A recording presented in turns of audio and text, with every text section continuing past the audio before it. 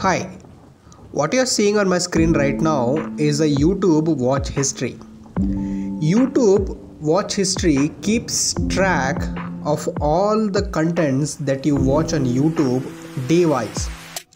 In this video, I will show you a feature of YouTube that is incognito mode.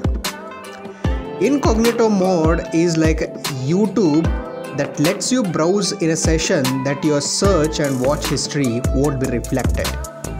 Now let me show you how you can set YouTube to incognito mode. Hi, welcome to Teach Me AK channel.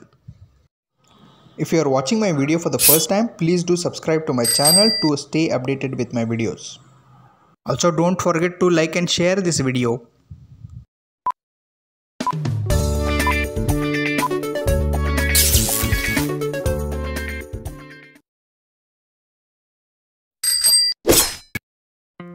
Now let's get started.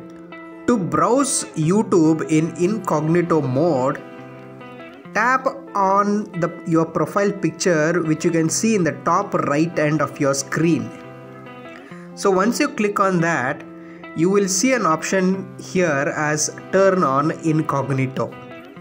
So once you click on that as turn on incognito, automatically YouTube puts you into a incognito mode. Please note you can only turn on this incognito mode feature only if you are signed in. And until you browse a black bar at the bottom of the screen keeps displaying indicating that you are incognito mode. So here search history, watch history won't be saved in incognito mode. So now in case if you want to turn off your incognito mode, go again to the profile icon that you see at the top right here and you will see the first option as turn off incognito.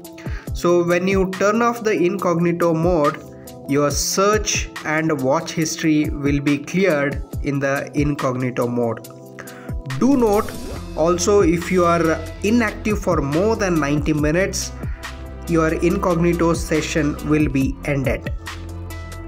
It is like everything you do while in incognito mode is private. When you try to comment or subscribe any channel in the incognito mode, you will be asked to sign in to complete that particular action. I hope this topic or information was very informative to you. Thank you for watching. Stay tuned for more videos like these. Thank you. Bye bye.